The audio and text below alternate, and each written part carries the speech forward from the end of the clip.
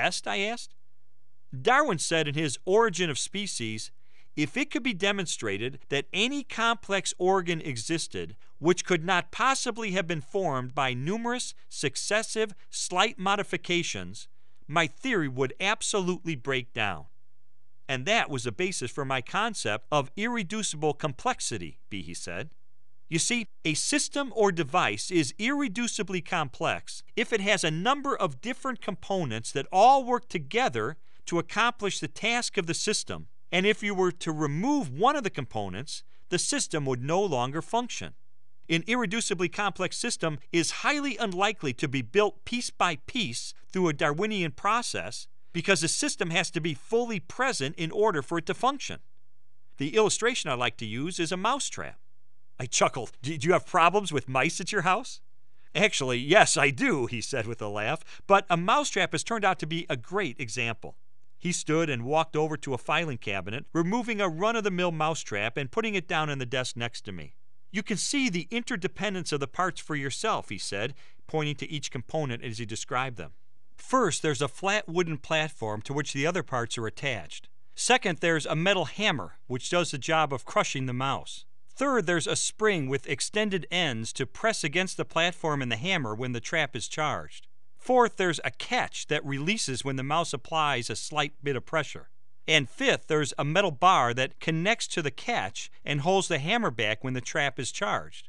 Now, if you take away any of these parts, the spring or the holding bar, or whatever, then it's not like the mousetrap becomes half as efficient as it used to be, or that it catches only half as many mice. Instead, it doesn't catch any mice. It's broken. It doesn't work at all. He pointed down at the trap again. And notice that you don't just need to have these five parts, but they also have to be matched to each other and have the right spatial relationship to each other. See, the parts are stapled in the right place. An intelligent agent does that for a mousetrap. But in a cell, who tells the parts where they should go? Who staples them together? Nobody. They have to do it on their own. You have to have the information resident in the system to tell the components to get together in the right orientation, otherwise, it's useless. Behe sat back down. So, the mousetrap does a good job of illustrating how irreducibly complex biological systems defy a Darwinian explanation, he continued. Evolution can't produce an irreducibly complex biological machine suddenly, all at once, because it's much too complicated the odds against that would be prohibitive. And you can't produce it directly by numerous successive slight modifications of a precursor system, because any precursor system would be missing a part and consequently couldn't function. There would be no reason for it to exist, and natural selection chooses systems that are already working.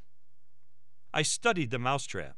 You said an irreducibly complex system can't be produced directly by numerous successive slight modifications, I said. Does that mean there couldn't be an indirect route? Behe shook his head. You can't absolutely rule out theoretical possibilities of a gradual circuitous route, he said. But the more complex the interacting system, the far less likely an indirect route can account for it.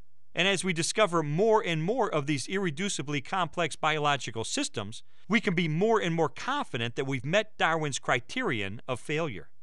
I asked, Are there a lot of different kinds of biological machines at the cellular level? Life is actually based on molecular machines, he replied. They haul cargo from one place in the cell to another. They turn cellular switches on and off. They act as pulleys and cables. Electrical machines let current flow through nerves. Manufacturing machines build other machines. Solar powered machines capture the energy from light and store it in chemicals. Molecular machinery lets cells move, reproduce, and process food. In fact, every part of the cell's function is controlled by complex, highly calibrated machines. Behe motioned toward the mousetrap. And if the creation of a simple device like this requires intelligent design, he said, then we have to ask what about the finely tuned machines of the cellular world? If evolution can't adequately explain them, then scientists should be free to consider other alternatives. Before I began investigating that issue any further, though, I wanted to stay focused a little while longer on Behe's whimsical use of the mousetrap to illustrate irreducible complexity. Ever since Darwin's Black Box was published, the lowly rodent catcher has become something of a new icon in the debate over evolution versus design. As such, it has been pelted by opposition from Darwinists, and I needed to know if Behe could fend off the best challenges. Your mousetrap has generated quite a bit of controversy, I began. For instance, John McDonald of the University of Delaware said mousetraps can work well with fewer parts than yours, and he even drew a picture of a mousetrap that's simpler than the one you drew.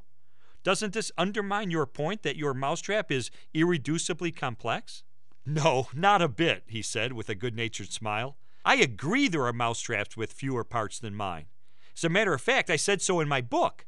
I said you can just prop open a box with a stick, or you can use a glue trap, or you can dig a hole for the mouse to fall into, or you can do any number of things. The point of irreducible complexity is not that one can't make some other system that could work in a different way with fewer parts. The point is that the trap we're considering right now needs all of its parts to function.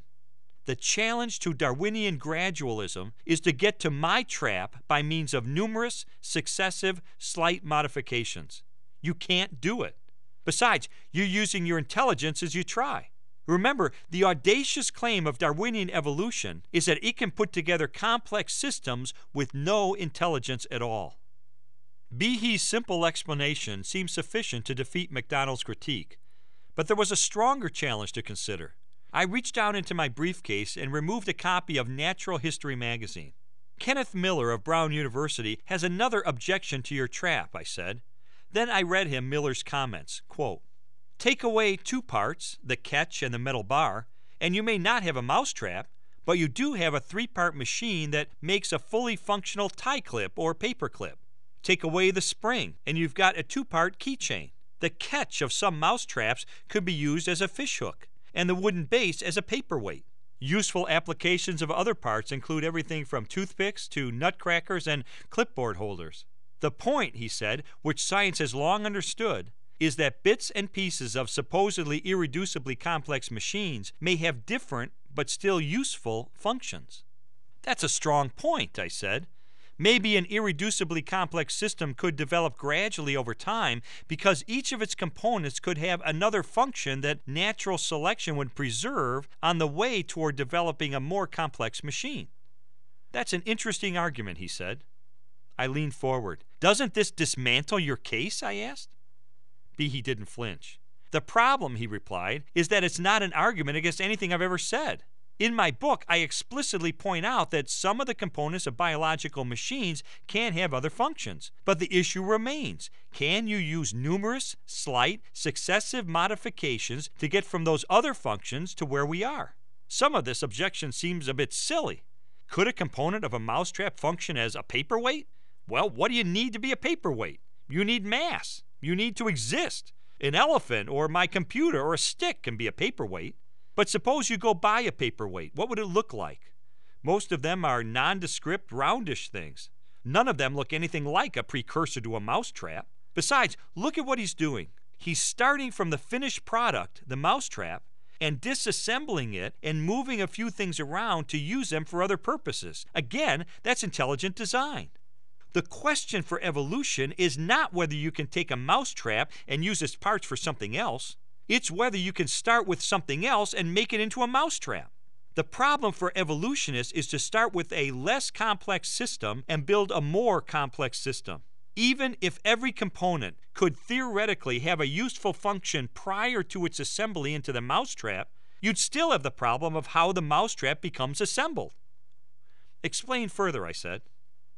He said, when people put together a mousetrap, they have the disassembled components in different drawers or something, and they grab one from each drawer and put it together. But in the cell, there's nobody there to do that. In molecular machines, components have portions of their shape that are complementary to each other, so they connect with each other in the right way. A positive charge can attract a negative charge, and an oily region can attract another oily region.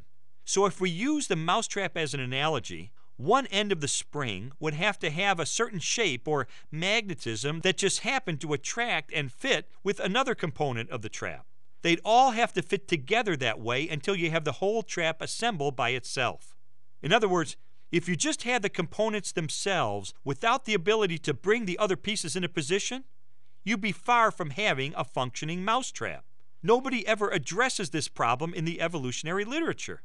If you do any calculations about how likely this could occur by itself, you'd find it's very improbable. Even with small machines, you wouldn't expect them to self assemble during the entire lifetime of the Earth. That's a severe problem that evolutionists don't like to address.